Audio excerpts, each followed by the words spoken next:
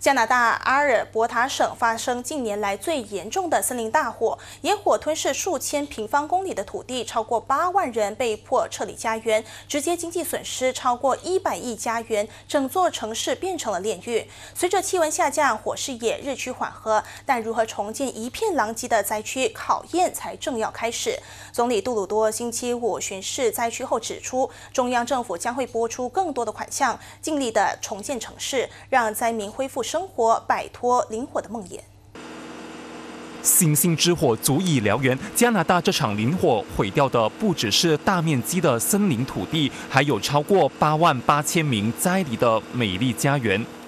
总理杜鲁多星期五乘坐直升机实地勘察灾区情况，当面赞扬前线消整人员的努力，肯定团队付出，并承诺中央政府将会成为灾民最强大的后盾，一起度过这次的难关。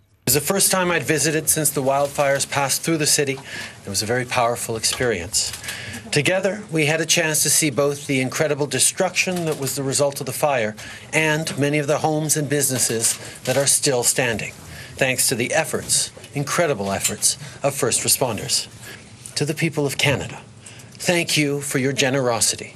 In just 11 days, $86 million has been donated to the Canadian Red Cross to help the people of Fort McMurray. With our government matching individual donations, that figure will rise much higher. 因为一场突如其来的林火灾难，学校、房子、家园都受到严重破坏，超过一千两百名学生被迫撤离到临时庇护中心暂住。一些孩子小小的心灵经不起骤然改变的生活和环境，变得郁郁寡欢。相对的话，他比这里的其他的孩子，他们的适应度要高，因为他熟悉这个环境。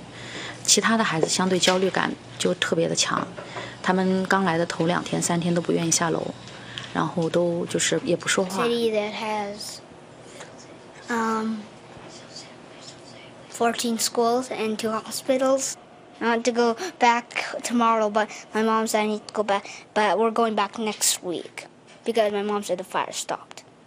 Well, I hope it stopped. 随着气温下降，火势趋缓，一些学生分批回学校上课。不过，所谓破坏容易，建设难。阿尔伯塔省内大城小镇灾民要如何收拾残局，让家园恢复昔日面貌，就得依靠中央与地方政府以及民间力量一起行动，才有望从遭遇重创的经济和生态环境中恢复元气。